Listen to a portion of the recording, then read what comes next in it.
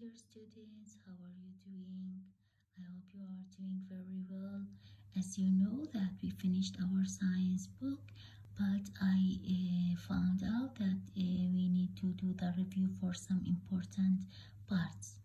I tried to start uh, with page 14, which is our first part in science grade 3.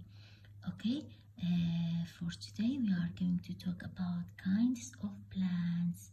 Before I start, let's see what will we learn in here.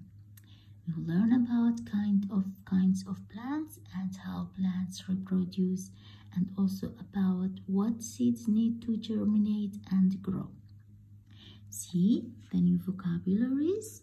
We have a simple plant, seed, germinate, seedling, stamen, and pistil. Okay, uh, so let's see uh, plants that produce spores. Uh, first up, we have to learn about a simple plants as we learned or we studied. Simple plants are uh, the plants or kinds of plants that they don't have uh, roots, stems, or leaves okay? Then uh, how uh, they reproduce? They reproduce by spores.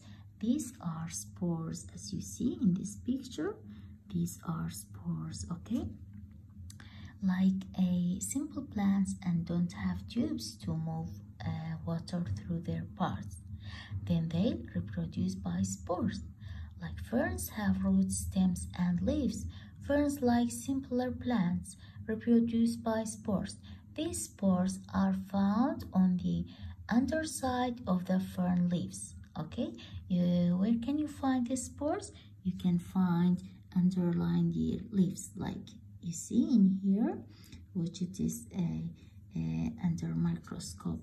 Uh, see, um, okay, simpler plants reproduce by spores. As we said, these spores are found on the underside of the fern leaves or fronds.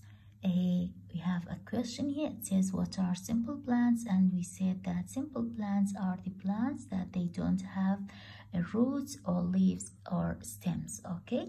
They are reproducing by spores and you can say that, okay?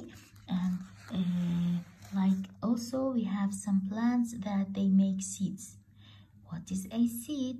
As you see this apple in here what can you see inside this apple? You can see some seeds okay? Uh, which is reproduced by their fruits. And we can uh, reproduce uh, apples by these seeds. So seed is the first stage of growth in many plants that have roots stems and leaves Plants that reproduce by seeds, usually from more than one seed at a time.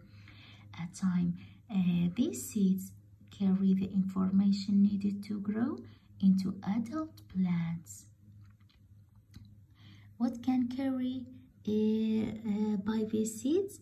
They are carrying enough information to make a new plant like a, the original one. Okay, uh, so they have enough information or they uh, carry the information that needed to grow into an adult plant. Two groups of plants form seeds. What they are? They are for uh, flowering plants which include all bushes, trees and small plants that have flowers. And plants that have cones such as pine trees, uh, they can uh, grow seeds, okay?